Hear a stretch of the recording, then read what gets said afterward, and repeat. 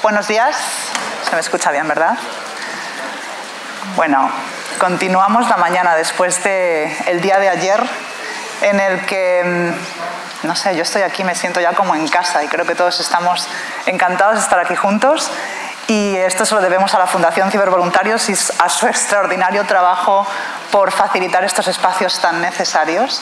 Entonces, no quería dejar pasar la oportunidad para agradecer una vez más eh, a la Fundación y felicitar a todo el equipo por el gran trabajo que está haciendo.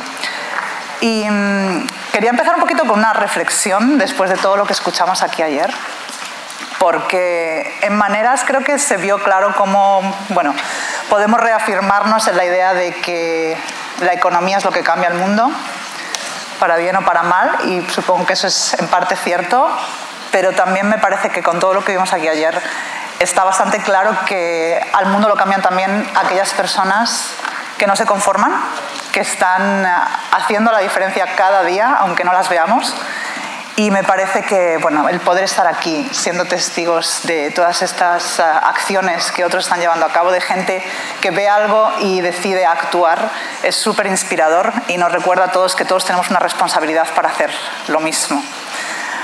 Hoy vamos a continuar la mañana con alguien que sin duda no nos va a decepcionar. Ella es eh, Julie Owono. Good morning. Hola. Hola. Eh, ella es abogada, es periodista, es activista, nació en Camerún, aunque um, hoy vive en eh, Francia, en París. Y mm, bueno, yo no voy a contar mucho de lo que ella hace porque para eso está ella aquí, para contarnos un poquito más. So, good morning, Julie. Hello. Hello. A ver. Hola, Julie. Hola. Sé que nos van a poner un vídeo, así que vamos a verlo. Julie Bono es activista y abogada especializada en ley internacional. Es la directora ejecutiva de Internet Sans Frontières, una organización que trabaja por un Internet libre, abierto y accesible en todo el mundo. Julie se centra en luchar por los derechos y libertades de la ciudadanía en el entorno digital y el desarrollo global de un Internet sin fronteras. También participa habitualmente como experta en medios como France 24, BBC o HuffPost Live.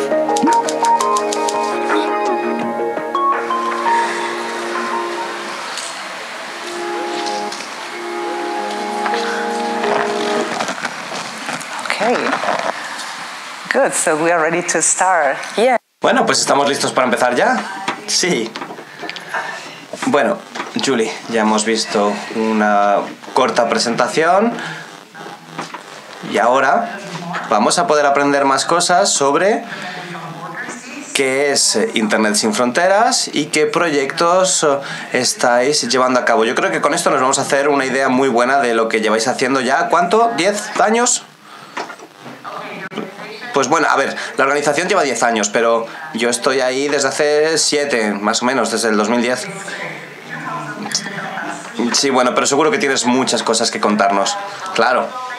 Bueno, lo primero es dar las gracias a cibervoluntarios y específicamente a Ángel, Yolanda, por, eh, por, toda su ayuda y por haber permitido que esté aquí. Es la primera vez que puedo hablar a un público español, así que estoy muy emocionada y me siento muy bien acogida y quiero daros las gracias por todo este ambiance, todo este ambiente tan bonito que habéis creado.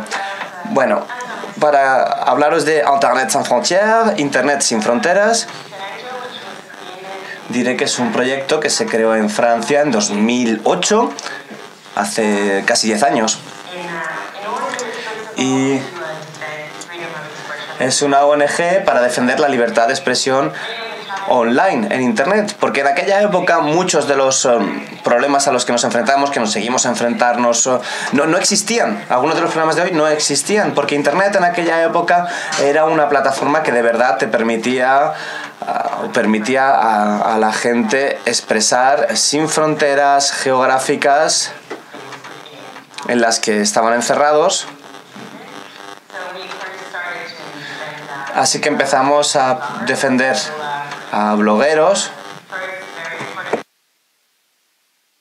Una de nuestras primeras campañas fue para defender... A, ver, por la siguiente diapositiva que lo pone ahí, por favor. A Hossein Derakhshan. Hossein Derakhshan, no sé si lo conocéis. es un bloguero muy famoso de Irán. Se le llama el luchador del blog. Porque si os acordáis, en 2011 se produjo la Revolución Verde en Irán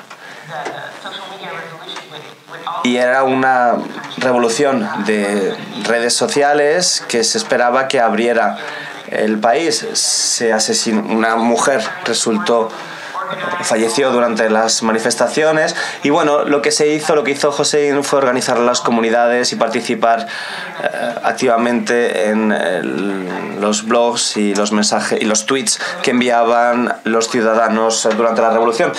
Eh, por supuesto, se le encarceló debido a ello y Internet sin fronteras se movilizó. En 2014, si no recuerdo mal,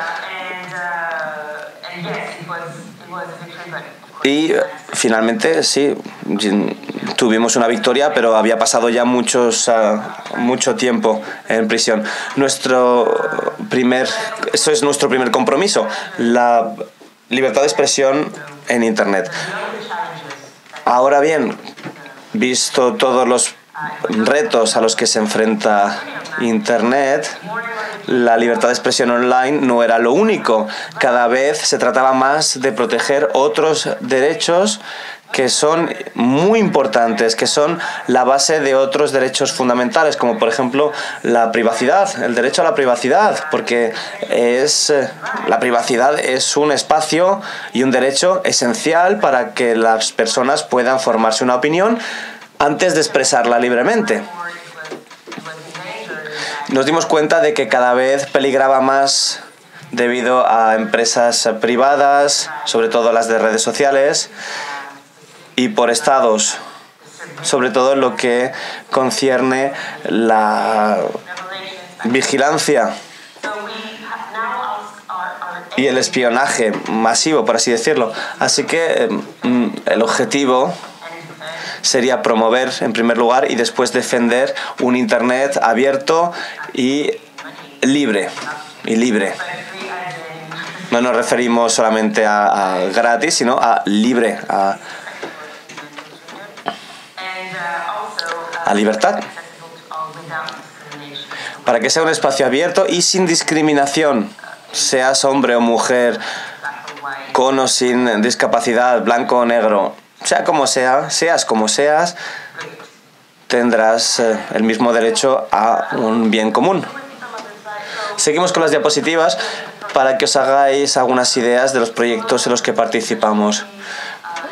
Siguiendo con la libertad de expresión, hemos ayudado a un bloguero muy famoso de Chad. Chad es un país eh, de África Central, que es una dictadura básicamente. Y este bloguero corría peligro de muerte. Y lo tuvimos que llevar a una residencia a Francia. Ahora es refugiado en Francia. Este es el tipo de cosas que hacemos. Ayudamos a personas que expresan su, su eh, que expresan su opinión y por ello se enfrentan a problemas. Pero no solo hacemos eso, sino que creemos firmemente en que Internet es, sin duda, es y debería ser una herramienta para el empoderamiento social, económico y político. Y esto solamente es posible si es un espacio libre y abierto. Evidentemente, si tenemos un espacio cuyo acceso cambia según donde estés, eso no te va a empoderar lo suficiente como para que puedas eh, percibir todas las posibilidades que te ofrece Internet. Queremos desarrollar programas de impacto social, desarrollamos aplicación y en concreto estoy muy orgullosa de esta que se llama Fuel. Es una plataforma de código abierto que hace un seguimiento o hace un mapeo de los apagones eléctricos en África. Es un proyecto que se inició en 2013 y que nos, eh, eh, que nos ayuda porque tenemos muchísimos problemas de electricidad en África, como algunos de vosotros sabréis. y, y son eh, problemas enormes. Todo el mundo quiere poner en práctica soluciones, crear enormes presas, grandes proyectos y nosotros dijimos, ¿cómo podemos crear problemas, solucionar problemas sobre una situación de la que no sabemos nada? Entonces pensamos, vamos a crear esta plataforma abierta en la que eh, mediante crowdsourcing recibimos información de los usuarios, de los apagones es que me confundo un poco al hablar entre los cortes de internet y los eh, apagones de electricidad. Pero bueno, a pesar de esto, me disculpan, voy a hablar del, de apagones de electricidad. Y lo que se hace con esto es crear mapas de cortes de electricidad en eh, ciudades específicas, eh, con una ciudad específica del África subsahariana, es Douala, la segunda ciudad de Camerún. Siguiente diapositiva. Una pregunta. Todos estos proyectos... ¿Qué proyecto tenéis para estos proyectos?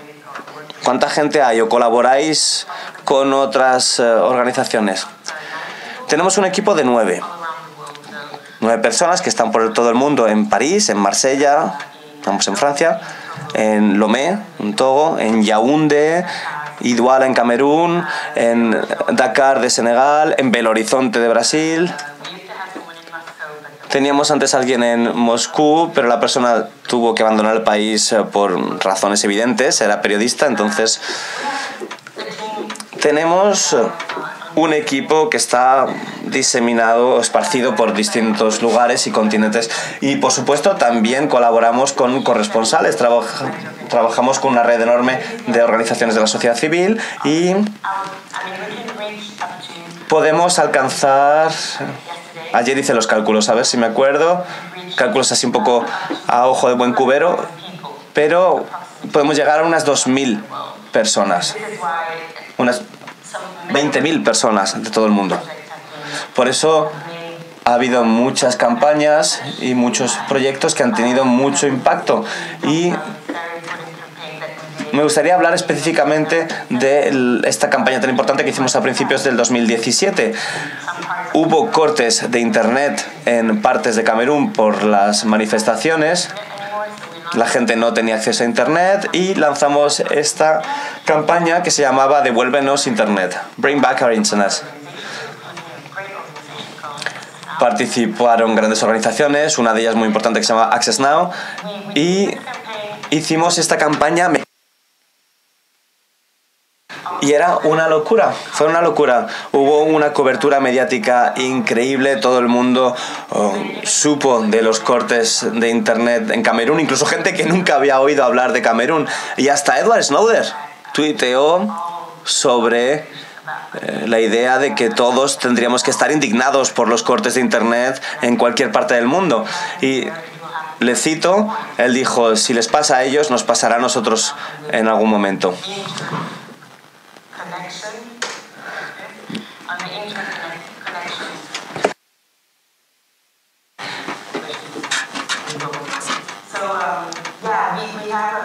Bueno, pues eh, tenemos un alcance interesante en cuanto a las comunidades a las que llegamos y que confían en nosotros. Y siguiente diapositiva, por favor. Y también estamos contentísimos de trabajar con la inclusión digital para poder garantizar el acceso sin ningún tipo de discriminación. Este es un proyecto del que también estoy muy orgullosa que se llama ah, Cerrando la brecha digital de género en Camerún. Esta es la página que creamos y aparecen todas estas mujeres que estas mujeres de Camerún que nos explican cómo Internet les ha cambiado la vida, cómo les permite hacer su trabajo. Mira, una dice que le ha ayudado Internet mucho a encontrar trabajo, la tercera dice que gracias a Internet ha podido aumentar sus ingresos porque ahora puede llegar a muchos más. Entonces esto es parte de las cosas que hacemos. Y otra cosa que hacemos es también trabajar con jóvenes, jóvenes e Internet, específicamente en Brasil, donde tenemos Internet sin fronteras, que es un proyecto para la juventud, es un proyecto para los jóvenes, un proyecto periodístico de los, los, jóvenes de las favelas. Sabéis que tienen muy mala imagen estos, muy mala imagen estos jóvenes y muchos quieren ofrecer una imagen distinta de cuál es su realidad, así que lanzaron un, uh, vídeos donde, donde contaban sus historias, decían cómo se usaban las cámaras, cómo utilizaban internet y contaban ellos mismos sus historias. Estos son nuestros proyectos. Y uno que estamos promoviendo mucho es uh, la colaboración entre norte, sur, este, oeste, en todas direcciones. Nosotros creemos que donde haya una pericia, donde haya una necesidad tenemos que relacionar las dos cosas, la pericia, el conocimiento específico y la necesidad. Del norte al sur, del este al oeste, juntando comunidades, porque esto al final está en el centro de nuestra misión y en el centro de nuestra forma de hacer proyectos. ¿Y mi micro no me oís? ¿Sí? Pues eh, es excelente escuchar esto, porque sí que es verdad. Yo noto esa conexión entre lo que se está haciendo y lo que hay aún por hacer y qué oportunidades nos estamos perdiendo porque no estamos uh, intercambiando todo ese conocimiento. Vamos a volver un segundito a la diapositiva anterior porque tenemos aquí a dos mujeres y tú nos has contado algo de las mujeres de Camerún y yo no sé si podemos hablar, bueno, seguramente no, pero no sé si podemos hablar de toda la región. ¿Qué pasa con el género y el acceso a Internet? ¿No podemos contar cómo son las cosas para las mujeres en Camerún específicamente, pero bueno, si podemos ampliar a toda la región? Bueno, pues en general existe una desigualdad en el acceso a Internet entre hombres y mujeres que se puede observar en todo el mundo, aunque en el norte hasta cierto punto esa desigualdad es menos importante porque hay muchísima más gente conectada. En el sur mundial esa desigualdad pasa del... esa desigualdad es una diferencia de entre el 30 y el 50% de accesibilidad a la conexión. En Camerún las mujeres tienen 20% menos de oportunidad, menos de posibilidades de conectarse a internet que los hombres. Y bueno, hay explicaciones debido a, aspectos económicos como, por ejemplo que las mujeres ganan menos, el acceso es más caro para ellas, el acceso en general es caro en el África subsahariana y no se, los gobiernos no pueden o las personas no pueden invertir tanto para conectarse. Es una pregunta muy importante porque también tiene que ver con mi historia personal. A mí me gusta decir que yo soy el producto, el resultado de un Internet abierto y libre. Porque si esto no hubiera existido hace siete años cuando yo empecé, evidentemente no estaría aquí hoy.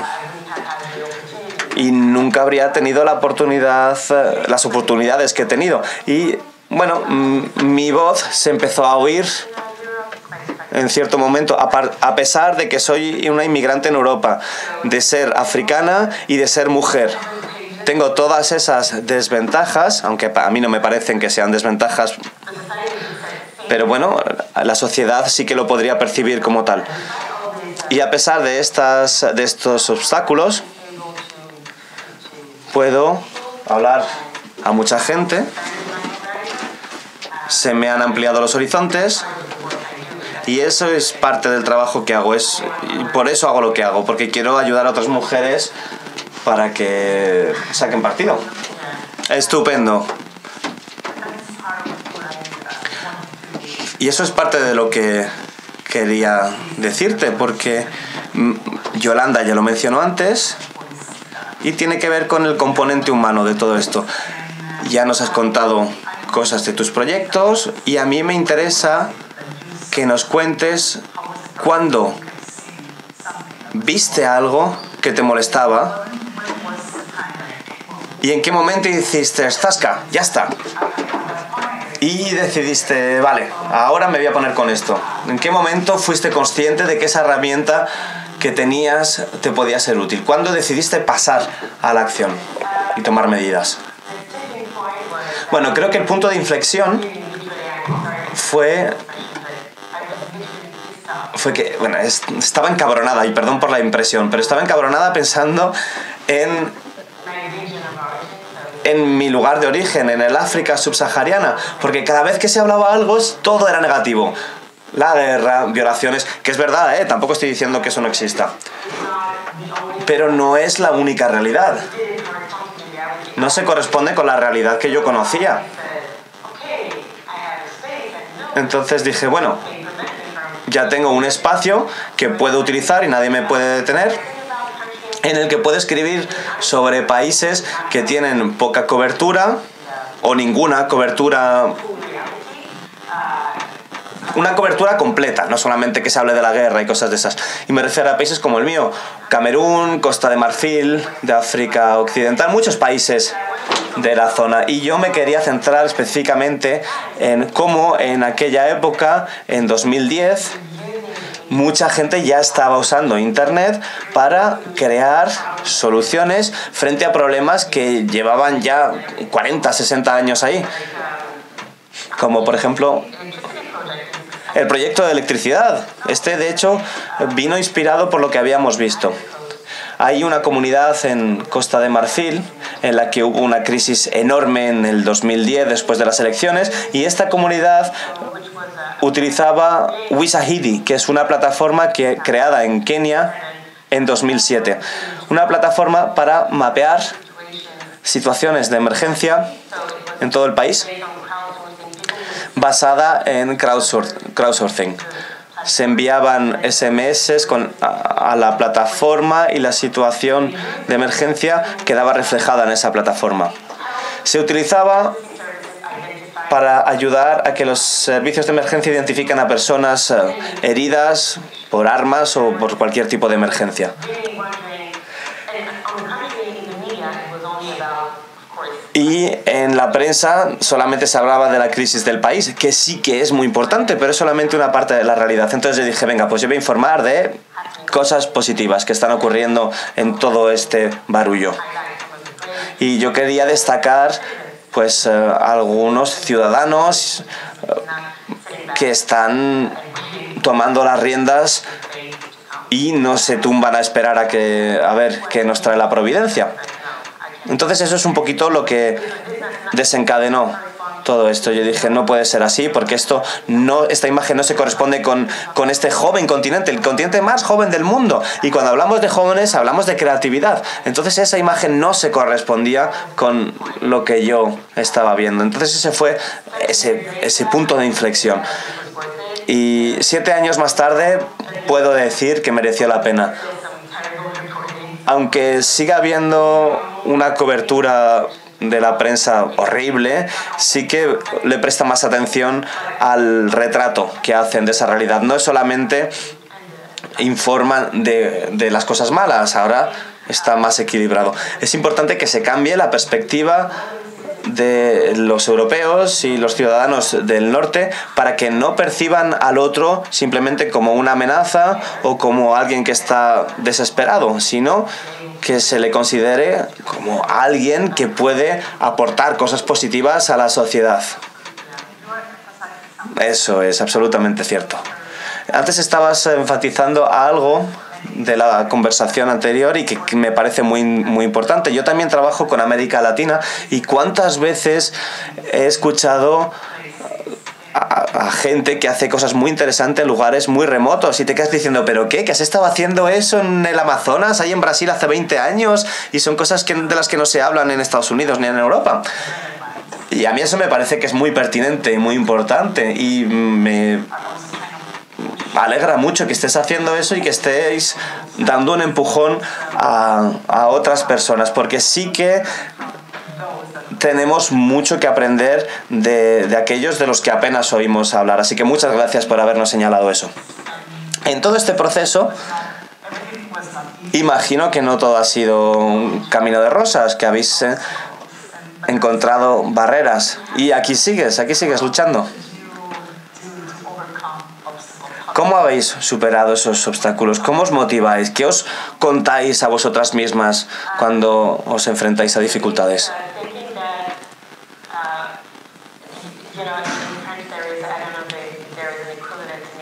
En francés se dice, no sé si en inglés existe esto, pero en, en, francés se dice el efecto mariposa. No sé, ¿en español también? Ah, vale, pues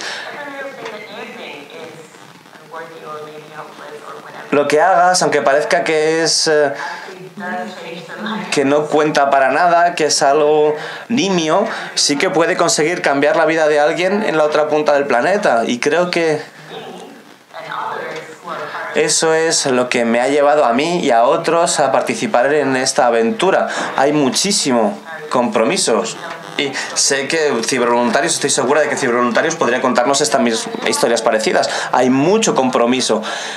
No se suele ver un resultado directo de lo que se hace, pero ver cómo evolucionan las cosas, ver que cada vez hay más personas en Internet en el, en el sur mundial, específicamente en el África subsahariana, y verles cómo están utilizando estos espacios, a pesar de que ahora estén en peligro, pero bueno, eso lo hablaremos después.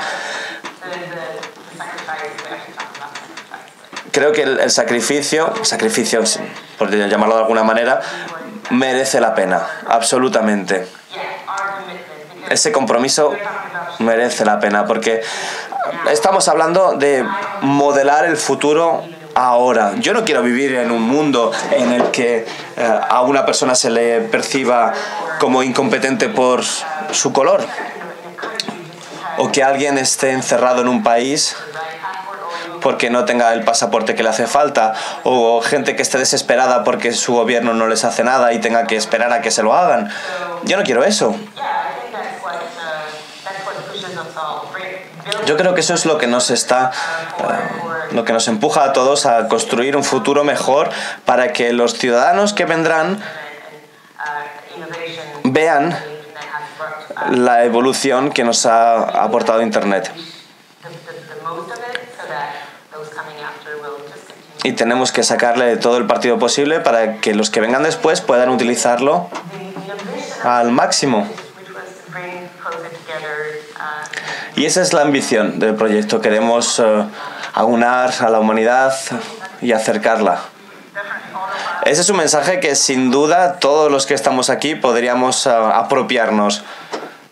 Por eso es tan importante escuchar estas experiencias, porque podemos empezar con un gesto muy pequeñito y como has dicho, está el efecto mariposa, se le llama así en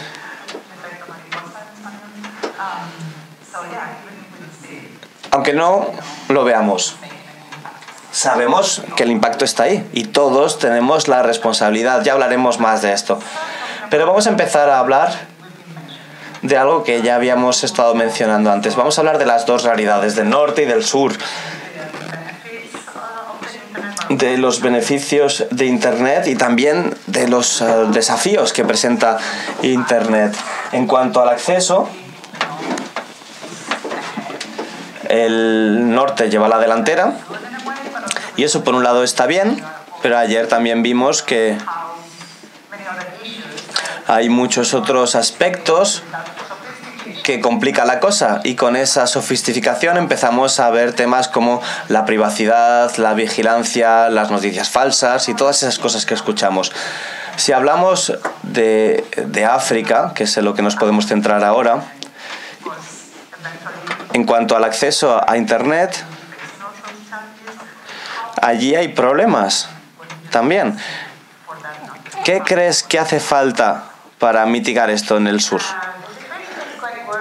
Pues la situación es bastante preocupante. Mucha gente habla de ese, del salto de rana del África subsahariana o del África en general, de ese salto de rana de conectividad. Es decir, en un periodo muy corto pasamos de la no conectividad, conectividad cero, a una conectividad o un acceso a Internet móvil del 70% en muchos países, en menos de cinco años.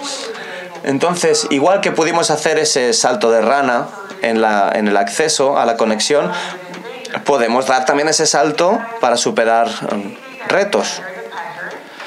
Hay un, hay un patrón, un modelo, que es que Europa, América del Norte y Oceanía descubrieron Internet hace 25 años, la red, y hasta hace muy poquito muchas de nosotras éramos muy naif, muy naif y decíamos este es un espacio público y podemos ser libres y, y no nos controla el gobierno ni nos ven las corporaciones y desafortunadamente hay em, muchas cosas que hemos visto demasiado tarde. Bueno, nunca es demasiado tarde. Pero hay conocimiento y pericia que se ha experiencia que se ha ido acumulando sobre cómo y por qué habría que eh, proteger Internet y quién debería encargarse de ello. Un ejemplo muy bueno es un tema de privacidad. Hace siete años, cuando empezamos con el tema de privacidad, hace siete años cuando empezamos la privacidad no era un tema importante en Europa. Había gente que estaba sonando eh, la señal de alarma, pero la mayoría ni siquiera sabía nada al respecto. Y me incluyo también. Pero con todo lo que ha ocurrido, hemos tenido que abrir los ojos. Y ha habido muchas organizaciones que han estado sonando, la, haciendo sonar la alarma.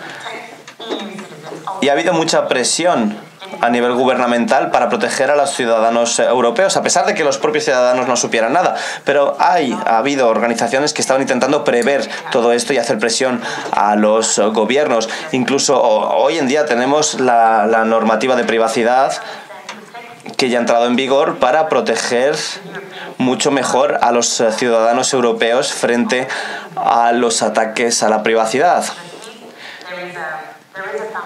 Podría ir mejor, la cosa, pero por lo menos ya tenemos los cimientos.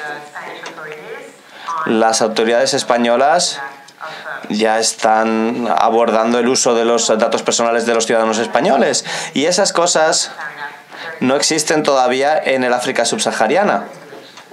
Incluso aunque haya regulación y normativa, no hay ninguna ah, puesta en práctica. Muchas empresas lo han entendido y están rápidamente entrando. Quieren conectar el continente. Entonces, ¿quién, ¿quién se podría oponer a eso? A alguien que quiere conectar a todo el mundo. Pero es que por otro lado lo están haciendo con sus propias condiciones. Y no tenemos ninguna autoridad eh, regulatoria como hay en Europa que entienda que es importante proteger los datos personales de los ciudadanos, que ni siquiera piensan que los datos personales puedan ser un problema. ¿Qué más da la privacidad?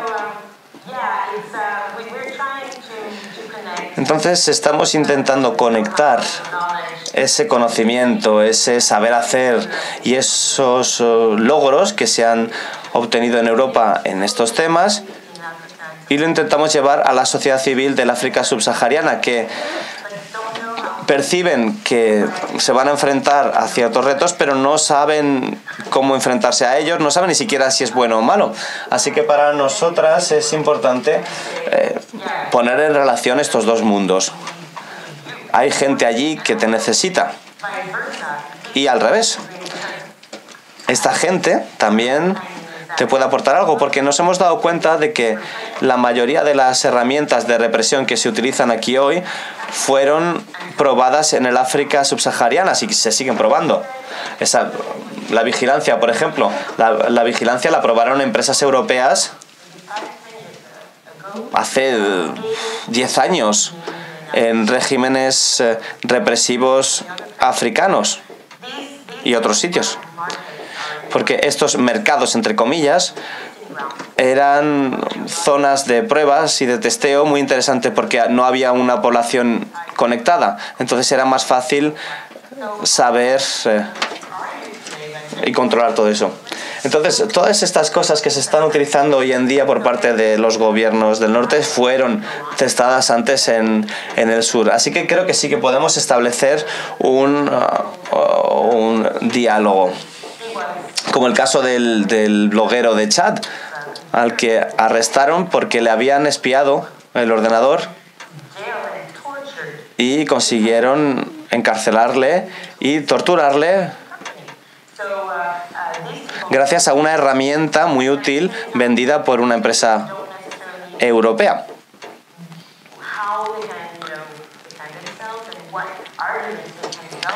Entonces, eh, allí no saben qué argumentos pueden utilizar para forzar a, a los reguladores y a, las, y a las autoridades para que les protejan. Por tanto, me parece muy interesante, necesario tender puentes entre estos dos mundos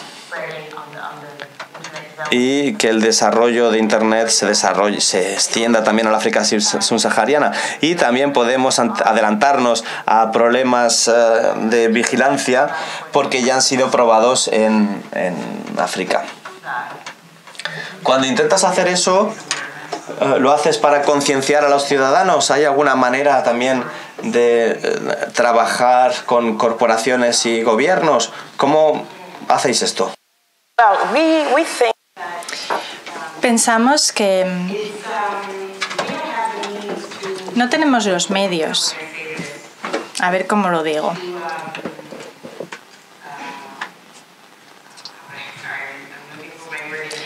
Estoy buscando las palabras en inglés, dice la oradora.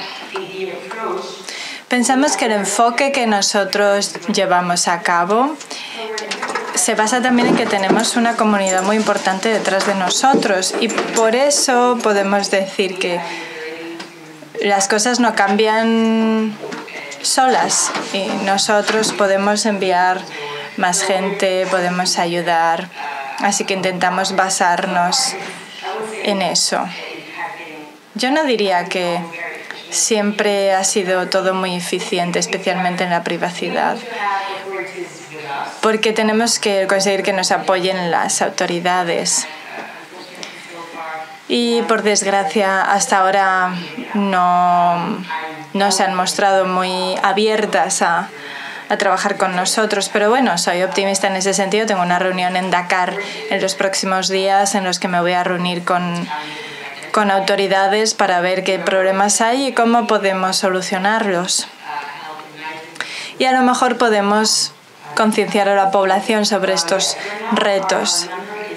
Pero bueno, yo creo que ahora nuestro, nuestra mayor baza es nuestra, nuestro número, nuestra, nuestro volumen. Y no podemos. No tenemos poder suficiente como para obligar a las empresas a nada, eh, por lo menos con la ley, pero bueno, sí que podemos, como somos muy numerosos, podemos provocar un cambio a base de insistir y como periodista, es decir, alguien que informa de asuntos que tienen lugar o para movilizar, para concienciar a la población, ¿qué, ¿cuál piensas que es el papel de los medios de comunicación? Porque aquí podemos hablar de los medios de comunicación tradicionales, pero también de los nuevos.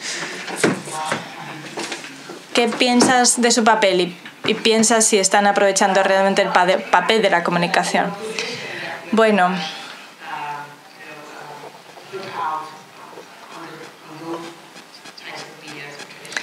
Esta oposición de los medios de comunicación tradicionales versus los nuevos, yo creo que no refleja la verdad completa. Porque aunque los medios de comunicación nuevos pueden reinventarse muy rápidamente, pueden ser muy creativos, se pueden adaptar rápidamente a los cambios, al público, a las herramientas que se usan, etc. Esa creatividad que a lo mejor no tenían los medios de, de comunicación tradicionales y que algunos incluso la despreciaban, es cierto que al final los medios de comunicación al final se pueden beneficiar de todo eso. Se pueden beneficiar del método tradicional, sobre todo en lo referente a cómo investigar, a cómo corroborar los hechos o las versiones, a cómo distinguir hechos de opiniones, cómo informar, al fin de cuentas, sobre todo en esta época de fake news, de las falsas noticias. Así que ambos tipos de medios de comunicación se beneficiarían de una colaboración más estrecha. Hay muchas buenas prácticas de unos y otros que deberían compartir. Pero mm, sí, sobre todo yo diría que habría que potenciar esos métodos de investigación del periodismo tradicional y de, de esa corroboración de los hechos para que toda la información que circula por ahí al final tenga sentido, se puede extraer algún sentido de ella para identificar lo que es cierto, eh, las fuentes más fiables, los medios de comunicación online como Intercept de Glenn Lingward, que quiere, bueno, que participó en las revelaciones de Snowden, de The Guardian. Es un buen ejemplo del tipo de medios que quizá necesitemos en esta época de noticias falsas gente que se tome la molestia de buscar lo que es cierto y de interpretar o de sacar de toda la maraña de noticias que hay en Internet lo que realmente es verdad. Tenemos que mm, darnos cuenta de que efectivamente no lo sabemos todo y que tenemos que estar constantemente abiertos a, a que aprender. Esto también se puede aplicar a esa dicotomía entre los medios de comunicación tradicionales y los nuevos en, en ese espacio de comunicación, de qué se comunica y de esa relación de comunicación entre el norte y el sur, entre los medios de comunicación, de cómo ven esas dos realidades, el norte y el sur, ¿no? Porque hay percepciones diferentes. ¿Cómo se puede resolver ese problema? Yo creo que para eso nos tenemos que remontar un poquito en la historia hacia atrás y, por ejemplo, nos retrotraemos al siglo XIII. ¿Hace cuánto? A ver, es que no se me dan muy bien las matemáticas. Bueno, hace siete, ocho siglos, los que sean. Ya en aquella época había relaciones entre el norte y el sur y esta ciudad, Málaga, es prueba de ello, del comercio entre el norte y el sur, del comercio en el Mediterráneo. Pero más allá de eso, a mí me llama la atención la presencia de los africanos en Europa en la Edad Media. Estuve investigando y me encontré con que el segundo hijo de un emperador muy famoso del Congo, que el Congo más o menos eh, era lo que ahora lo que actualmente es la República Democrática del Congo y Angola, más o menos, el antiguo Imperio del Congo, pues llegó a ser em, un prelado en el Vaticano. Era muy habitual en las familias que el segundo hijo se dedicase a la religión, que fuese religioso. Y me sorprendió Europa, ya en el siglo XIII, en el XIV. Ya había diplomáticos del África subsahariana, especialmente de los mandingo, una tribu del África occidental que, que vienen de la actual Malí y que además tenían una corte muy suntuosa, muy espectacular. Y en el siglo XV, XVI, que ya apareció el fenómeno del esclavismo y la población de África subsahariana empezó a ser considerada menos humana, por así decir. En realidad fue resultado del capitalismo. Solo en aquel momento se empezó a ver como una manera de aumentar la producción en menos tiempo. Si intentamos de ahí extraer una comparación, podemos pensar que actualmente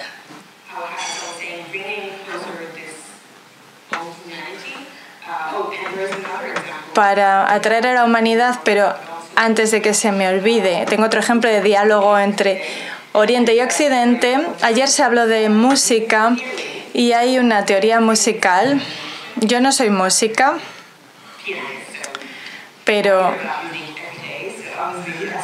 pero oigo música todos los días, así que también me interesa ese, tema. Pues hay una teoría musical, una metodología que se llama el temperamento igualitario que se descubrió en China y que pasó a Europa con los jesuitas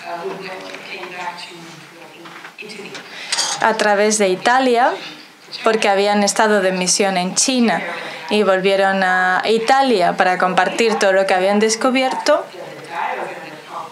Y bueno, me parece un ejemplo de colaboración eh, cultural entre Oriente y Occidente, una de las muchas que hay. Entonces ya existen esos canales de comunicación directa, sin necesidad de la idea preconcebida, forjada a lo largo de siglos de historia. Muy triste, pero al final el Internet capitalista es cierto que ha puesto todo esto en peligro porque es como más cómodo y mucha gente se atrinchera en sí misma y no habla con los demás. Y es verdad que Internet en un país no es como el Internet en otros sitios. A mí me encantaría que hubiese una Internet abierta que pudiéramos aprovechar todos y en la que todos pudiéramos intercambiar ideas para crear innovación. Me acuerdo de que ayer eh, Mahmoud, creo que fue él, dijo que en su equipo de trabajo hay gente de India, de Países Bajos. Pues me parece fantástico y quizá no habría sido posible sin Internet. Así que Vivir en un mundo donde Internet es eh, solamente muchas veces solamente está al favor de los ricos, donde no todo el mundo tiene acceso, no es positivo, desde luego. Yo creo que no es solamente cuestión de que tengamos derechos como europeos o como africanos.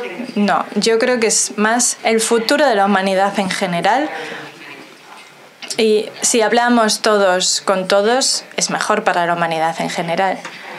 Bueno, obviamente estoy totalmente de acuerdo contigo y muchísimas gracias por el trabajo que estás llevando a cabo y por todo lo que nos has dicho esta mañana.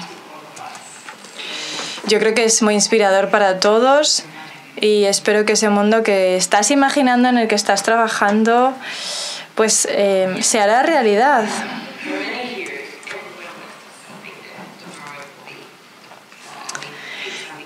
Sí, espero que el día de mañana podamos asistir a la creación de algo muy grande. No nos queda tiempo, pero mm, sí hay tiempo para alguna pregunta.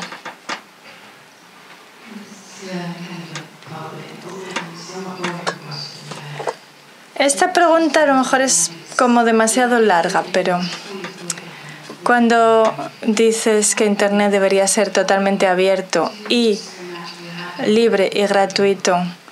¿Qué pasa? ¿Cómo, cómo harías con... ¿Cómo harías para impedir que realmente eh, se propaguen ideas destructivas o negativas?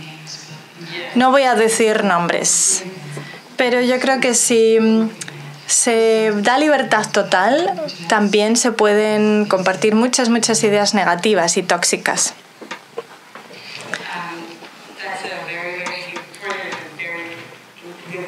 Sí, es una pregunta importante y oportuna.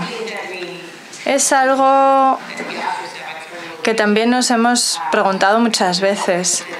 Por ejemplo, me acuerdo de un debate que tuvimos en 2012 durante las elecciones presidenciales francesas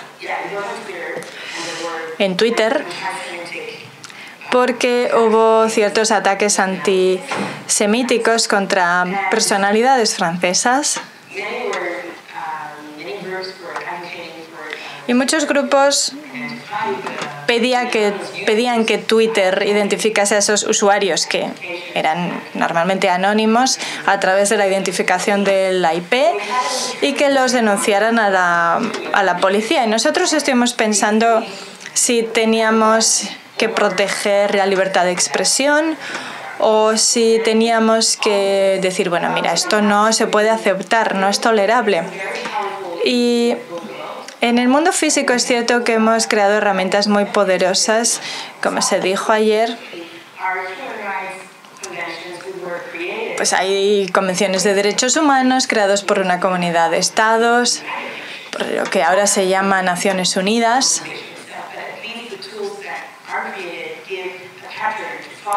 Y por lo menos eso ya da una pauta para seguir, ¿no?